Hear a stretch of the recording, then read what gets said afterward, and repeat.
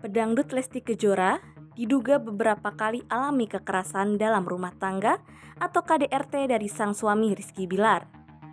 Lesti bahkan pernah diancam sang suami akan dilempar bola biliar.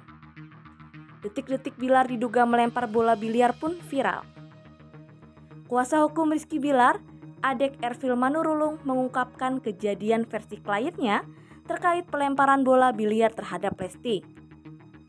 Menurut Adek, kliennya tidak melempar bola biliar ke Lesti, melainkan hanya untuk menggertak sang istri agar takut. kan sampai lebam juga di tangan. bola biliar itu ini sebenarnya ya, ini Desi yang ngomong ya. Ya. Bola biliar itu bukan dilemparkan ke begitu, dia nggak kena istilah itu tidak benar, hanya menggertak. sama aja bang Ya beda dong, kalau dilemparkan berarti betul. Ini kan enggak. sifat temperamen ya bang Jadi itu Bang. sama aja itu bang Abang tadi belum ada awal pondok Ini pengancaman ya bang untuk Tapi bang, dari hasil luka visum itu menyatakan pegangan tangan itu terlalu keras karena itu merah sekali bang.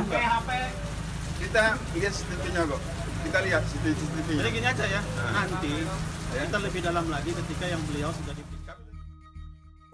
Seperti diketahui, Kabit Humas Polda Metro Jaya Kombes Endra Julpan mengatakan Lesti mengaku pernah dilempar bola biliar oleh suaminya.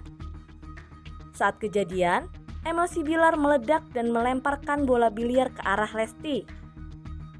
Beruntung, bola itu meleset sehingga tidak menyebabkan luka serius kepada Lesti.